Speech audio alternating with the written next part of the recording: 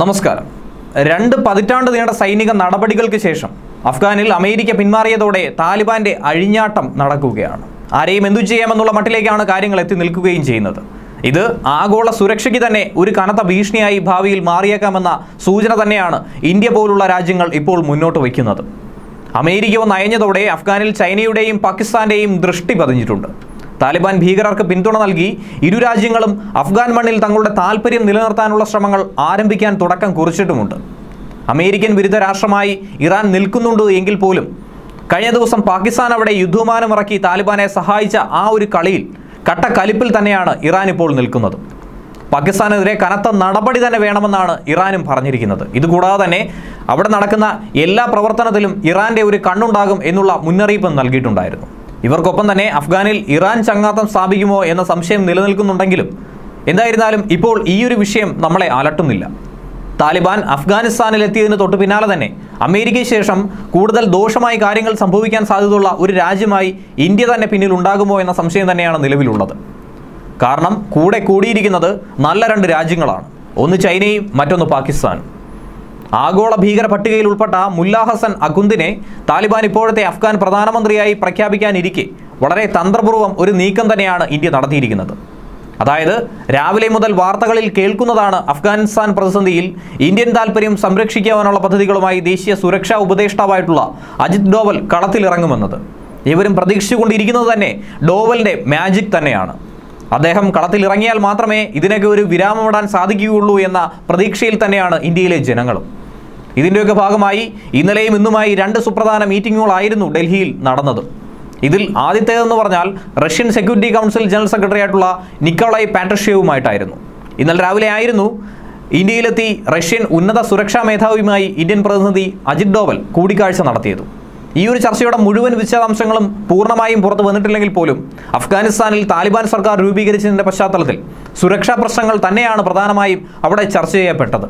തൊട്ടു പിന്നാലെ തന്നെ ഡോവലുമായി സി എ മേധാവിയുടെ കൂടിക്കാഴ്ചയും നടന്നിട്ടുണ്ടായിരുന്നു. അഫ്ഗാനിസ്ഥാനിലെ സംഭവ വികാസങ്ങളെക്കുറിച്ചും കശ്മീർ വിഷയത്തിലുമുള്ള ഇന്ത്യയുടെ ആശങ്കകൾ തന്നെയാണ് ഇതിൽ പ്രധാനമായും ഉയർന്നിട്ടുണ്ടാവുന്നത്. വിദഗ്ധർ ചൂണ്ടിക്കാണിക്കുന്നതും ഇപ്രകാരമുള്ള കാര്യങ്ങൾ തന്നെയാണ്.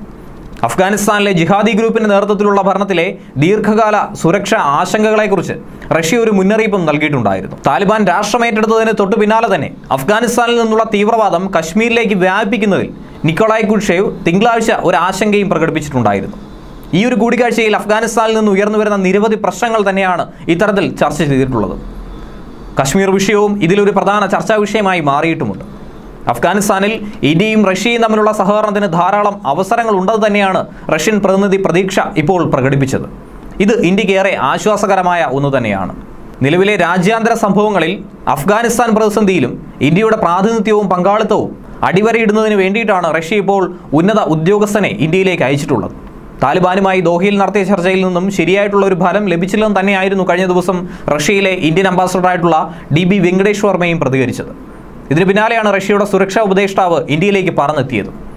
പ്രധാനമന്ത്രി നരേന്ദ്രമോദിയും റഷ്യൻ പ്രസിഡന്റ് വ്ളാഡിമിർ പുടിനും ഓഗസ്റ്റ് ഇരുപത്തിനാലിന് നടത്തിയ ഫോൺ സംഭാഷണത്തിന് ശേഷമാണ് ഈ ഒരു കൂടിക്കാഴ്ച എന്നത് വളരെ ശ്രദ്ധേയമായ മറ്റൊരു കാര്യമാണ്.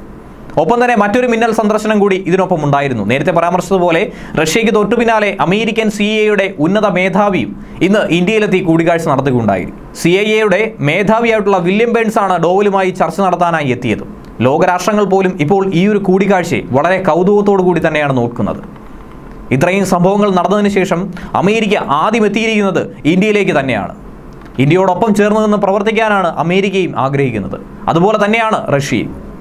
താലിബാൻ കാബൂളിൽ സർക്കാർ രൂപീകരണം പ്രഖ്യാപിച്ചതിനാൽ സി എ മേധാവി വില്യം ബേൺസിന്റെ സന്ദർശനത്തിനും ഒട്ടേറെ പ്രാധാന്യം ഇപ്പോൾ നിലനിൽക്കുന്നുണ്ട്.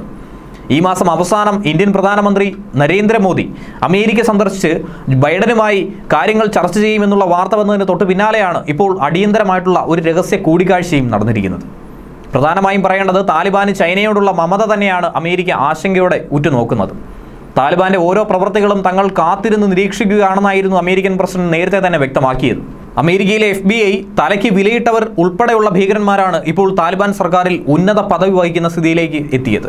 ഇത്തരത്തിൽ കാര്യങ്ങൾ പോയതോടെയാണ് ഇപ്പോൾ അമേരിക്കയും ഏറെ ഭയപ്പെടാൻ തുടങ്ങിയിരിക്കുന്നത്. നേരത്തെ തന്നെ ബ്രിട്ടീഷ് എം ഐ സിക്സിന്റെ ചീഫായിട്ടുള്ള റിച്ചാർഡ് മൂറും അഫ്ഗാനിസ്ഥാനിലെ നിലവിലെ സാഹചര്യങ്ങൾ ചർച്ച ചെയ്യാനായി ഇന്ത്യ സന്ദർശനം നടത്തിയിരുന്നു. താലിബാൻ സർക്കാരിൽ ആഭ്യന്തര ചുമതല ഹക്കാനി നെറ്റ്വർക്കിലെ സിറാജുദ്ദീൻ ഹക്കാനിക്ക് തന്നെയാണ്. രണ്ടായിരത്തി എട്ടിൽ കാബൂളിലെ ഇന്ത്യൻ എംബസി ആക്രമിച്ചതിന് തൊട്ടു പിന്നിൽ ഹക്കാനി നെറ്റ്വർക്കാണെന്ന് വ്യക്തമാണ്. ഇത് നമുക്കറിയാവുന്ന കാര്യവുമാണ്. ഇന്ത്യയ്ക്ക് ഏറെ ഭീഷണിയുള്ള ഒരു നെറ്റ്വർക്ക് തന്നെയാണ് ഹക്കാനി നെറ്റ്വർക്ക്. അവർക്ക് തന്നെയാണ് ഇപ്പോൾ അഫ്ഗാനിസ്ഥാനിലെ ഒരു വിഭാഗം ചുമതലയും ലഭിച്ചിരിക്കുന്നത്. അഫ്ഗാനിസ്ഥാൻ ഫണ്ട് ഇന്ത്യക്കെതിരെ ഉപയോഗിക്കില്ല എന്നതിൽ എന്തുറപ്പാണുള്ളതെന്ന ചോദ്യം തന്നെയാണ് ഇന്ത്യ ഇപ്പോൾ പ്രധാനമായും ഈ ചർച്ചകളിലെല്ലാം തന്നെ ഉന്നയിക്കുന്നത്. താലിബാനെ കുറിച്ചുള്ള നിലപാട് ഐക്യരാഷ്ട്ര രക്ഷാസമിതി തീരുമാനിക്കാനിരിക്കെയാണ് ഇന്ത്യയുടെ ഈ ഒരു എതിർപ്പ് പരസ്യമായി പ്രകടിപ്പിക്കുന്നത്. ഇനി രണ്ടും കൽപ്പിച്ച് തന്നെയാണ് ഇന്ത്യ മുന്നിട്ട് നിൽക്കുന്നത്. ഏതെങ്കിലും തരത്തിലുള്ള പ്രതിരോധം ഉണ്ടായാൽ ഏത് ഏതെങ്കിലും തരത്തിലുള്ള ആക്രമണങ്ങൾ അഴിച്ചുവിട്ട് കഴിഞ്ഞാൽ അതിനെ ശക്തമായി പ്രതിരോധിക്കാൻ ഇന്ത്യ മുന്നിൽ കാണും. ഒപ്പം തന്നെ റഷ്യയും അമേരിക്കയും ബ്രിട്ടനും ഒക്കെ കൂടെ ഉണ്ടാകുമെന്നുള്ള പ്രതീക്ഷയും ഇപ്പോൾ പങ്കുവയ്ക്കപ്പെടുന്നുണ്ട്. ന്യൂസ് ഡെസ്ക് മലയാളി വാർത്ത ഇൻസൈറ്റ്.